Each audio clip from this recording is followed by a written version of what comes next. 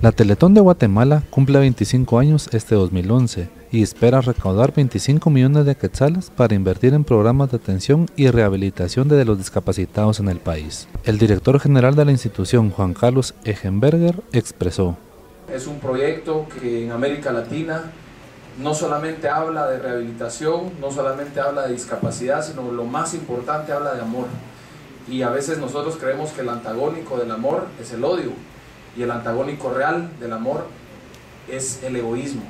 Cuando nosotros pensamos solamente en nosotros, cuando nosotros no nos damos cuenta que afuera de la pared de nuestra casa eh, están pasando cosas que a veces no son muy buenas, cuando salimos al encuentro de nuestro hermano y le damos la mano, eso es un acto de amor. Y eso es el llamado que vamos a hacer y ese es el llamado que estamos haciendo desde ya, a que este fin de semana, este viernes y sábado, salgamos al encuentro de nuestros hermanos que salgamos al encuentro de este niño, de este joven, de este adulto, que salgamos al encuentro unos a otros y que nos demos la mano con amor, con fraternidad, con nobleza, con solidaridad y le demostremos al mundo, al mundo, que no somos ese país de salvajes que hoy lamentablemente pareciera ser que somos.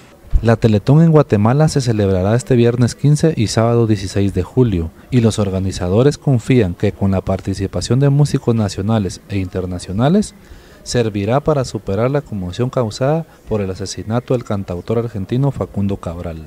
Y este 15 y 16 de julio tenemos que llegar a esa meta de 25 millones de quetzales que la Teletón se ha impuesto. Recuerden, este es un proyecto en el que todos hemos participado y tenemos que demostrarle al mundo que somos un país, una Guatemala que sabe amar. Hago un llamado especial a los lectores de prensalibre.com para que este fin de semana, 15 y 16 de julio, nos acompañen en la Teletón. Muchísimas gracias y los esperamos el fin de semana en la Teletón.